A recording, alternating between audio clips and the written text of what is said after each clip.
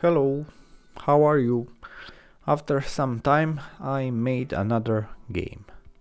This is my version of a popular snake game. I used to play this game on my father's phone when I was kid. Uh, usually this game is played using 4 push buttons, but 2 push buttons are enough because you only need to turn left or right. It takes time to get used to what is left and what is right. But this way game is more challenging and interesting and of course fun. Again I'm using T-Display S3 development board. Board is made by LilyGo and I will put link in the description so feel free to check it. This is ESP32 board and I'm using Arduino IDE program it. And like always, code is free and you can find it in description.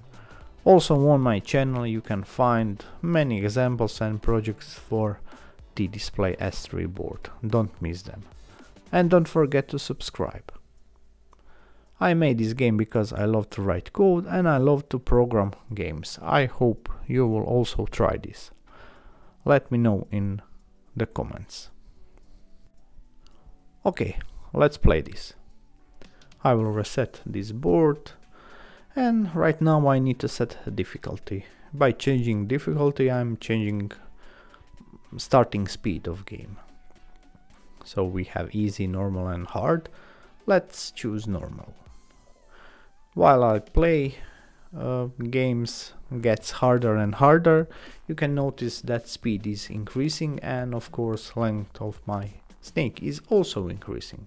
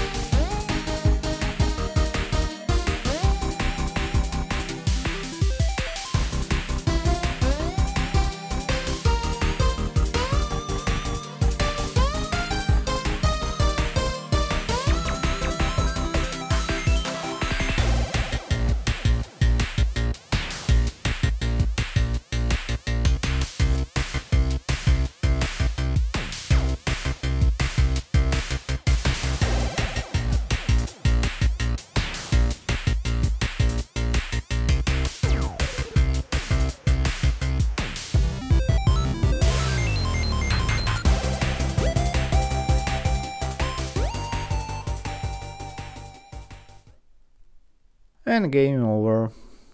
Okay. So this is very fun and playable. And of course